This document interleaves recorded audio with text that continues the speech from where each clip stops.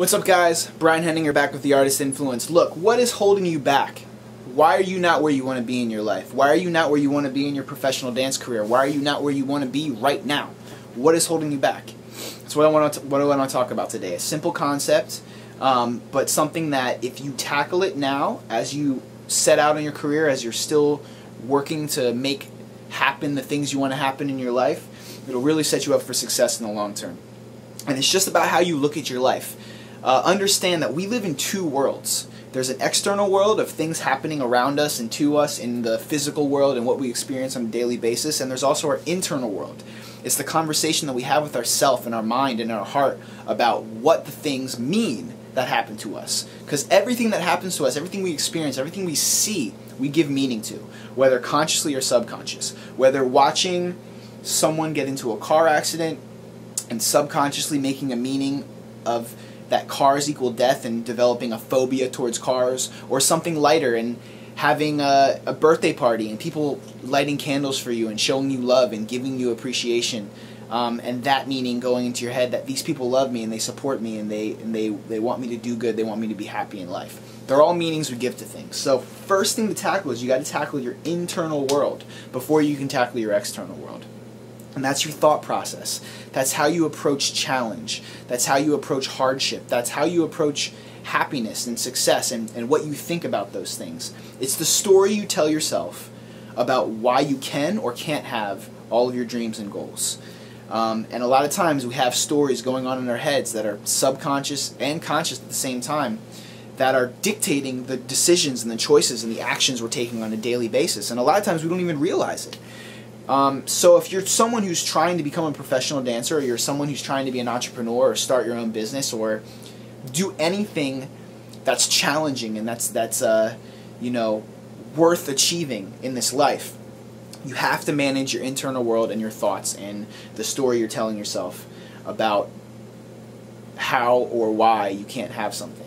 So instead of looking at something you want to have happen, instead of looking at your goal or your dream as this giant mountain to be taken on as a Mount Everest is something that you're never going to get up. Instead of focusing on all the things that could go wrong, instead ask yourself a question of what could go right?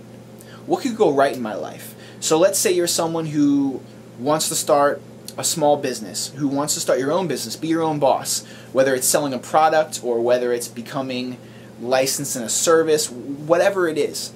If you're trying to create something of your own, and really take charge and be in charge of your own destiny in this life um, instead of focusing on all of the unknown factors, all the things that could go wrong, all of the, the struggle you're going to have getting the business to be able to be sustainable and make yourself a paycheck and an income, instead of focusing on all that stuff, focus on all you're going to get from this business, all of the, the positive that, that the positive things that are going to come from pursuing this endeavor, whatever it is. If it's professional dance, focus on all the amazing opportunities and moments that you'll be able to experience. Focus on being able to travel and all of these these great things. Uh, being on stage in front of thousands of people. Um, having someone come up to you and say you inspired them to start dancing themselves. Like things like that are what we need to focus on while we're trying to achieve our goals so that way we can enjoy the ride and actually be connected to the positive aspects of what we're doing and not the few negative things that might come in. So instead of focusing on all the things that might go wrong, focus on what could go right. And another question you can ask yourself is ask yourself if I don't do this right now, if I don't make this change in my life, if I don't go down this path, if I don't conquer this thing that's holding me back from pursuing what I'm supposed to pursue, my passion, what am I going to give up in the next five to ten years? How is my life going to become worse over the next five to ten years? Um, and you might say, well, I'm just going to keep doing what I'm doing, so nothing's really going to change. Yeah, but regret is a powerful thing. So if you look at your life 10 years from now and you look back on all the chances you didn't take, on all the risks you didn't go after, on all the things that you didn't try to achieve, how are you going to feel? How is that going to make you feel? Are you going to feel regret or are you going to feel happiness? Ask yourself that question too. All of these questions you can ask yourself can alter the story you're telling yourself in your mind. And it can alter the narrative and it can change the way you look at the world around you and the meanings you give to things and we'll we'll go into more depth on you know how to strategically program your mind to be able to help you to succeed how how you can change your thought process all of those little details we'll go over those in future videos but for now Just focus on these basic aspects. You got to manage your internal world before you manage your your external world. Yeah, no one who's done anything of note or successful or or any millionaire or any any head of a company or anyone who's invented something that's changed the world, all of those people have gone through immense level of fail, failure on the way to their goal. But they were so connected to the idea they had and the feelings that they would achieve and experience by achieving that idea that every day they let it fuel them and push them. And it wasn't them pushing themselves toward a goal, rather, it was the goal being so vivid and so imagined, so connected to their spirit and soul that it actually pulls them to it. The goal pulls them through all the obstacles to achieve it. So think about those aspects of managing your inter- internal world. The second aspect of this and achieving success and getting past what's holding you back is your external world. You got to look at the people around you, look at who you're surrounded by, and then think about what you're trying to achieve. Right? It doesn't make much sense to me to surround yourself with a bunch of people that, let's say, work in a mechanic shop when you're trying to become a chef. That makes no sense, right? And your friends are the same way. And look, love and utility are two different things. So you can be best friends with someone, you can love someone, and you can you can interact with them and, and love their their uh, their energy around you and what they bring to your life. But they could also give you nothing in terms of motivation and uh, strategies and, and insights into what you want to achieve. So you got to start surrounding yourself with people that have done what you want to do. You got to seek out those people. So if you're someone who's trying to become a professional dancer, for instance, you have to seek out the people that are already successful at what you're trying to accomplish and model them. Look at what they've done. Look at the strategy they strategies they've used. Look at some of the things that have that have set them back and how they overcame those things, those challenges. Um, learn from other people's experiences so that way you can get yourself to where you want to get even faster and with less headache and less pitfalls along the way. Because every successful person can be modeled. You can look at the way they've, they've thought. You can look at their mindset. You can ask them. You can talk to them.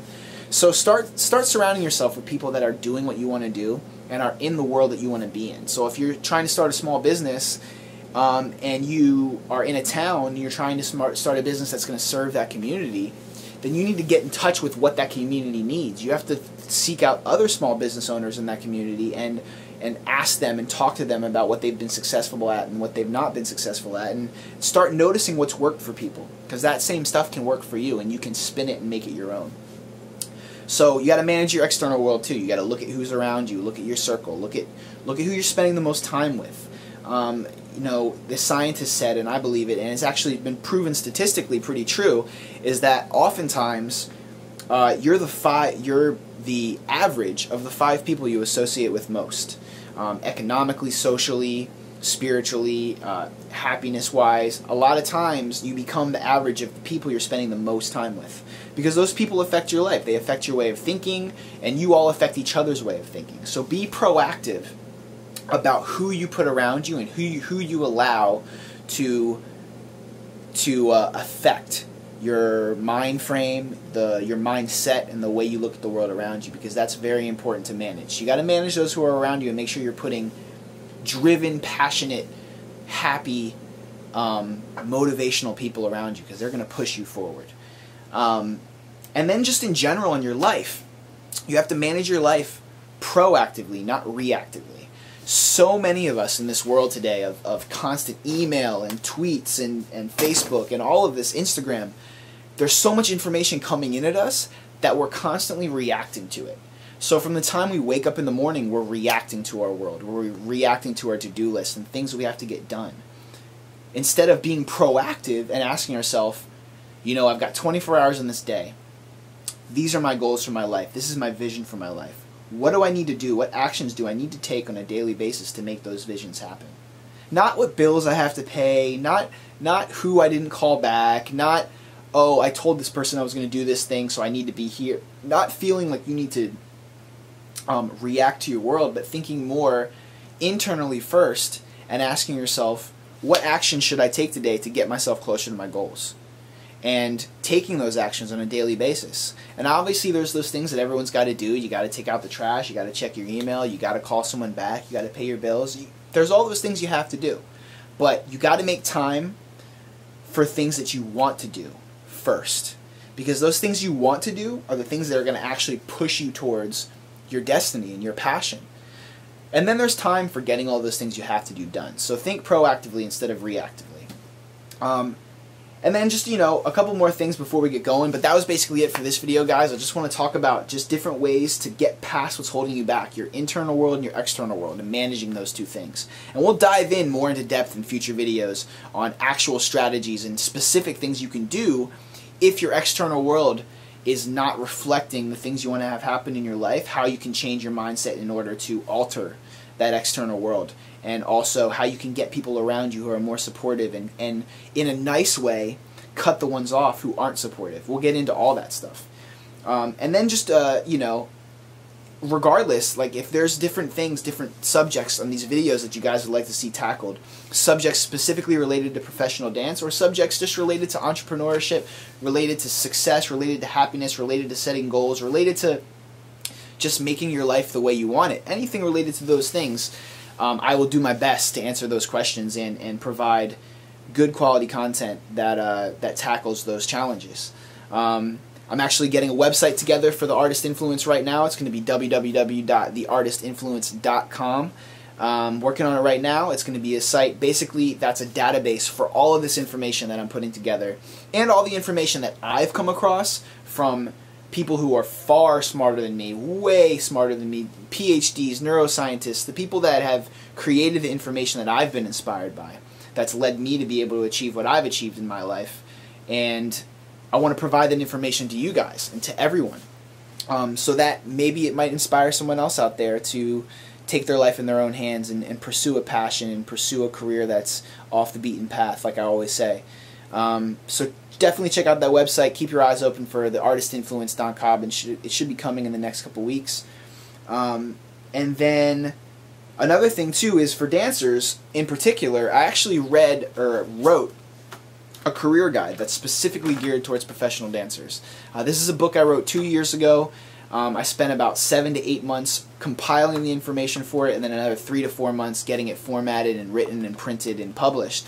Um, I self-published it. It's on sale right now at Broadway Dance Center and also BroadwayDanceCenter.com. It's also on sale at Excel in Motion National Convention, which is the convention that I teach for. Um, it's at a merchandise booth there, so if you come to any of our Excel in Motion events, the book will be on sale there as well. This is the book right here. It's titled Book Dance Jobs, and basically what it is, guys, is it's a roadmap.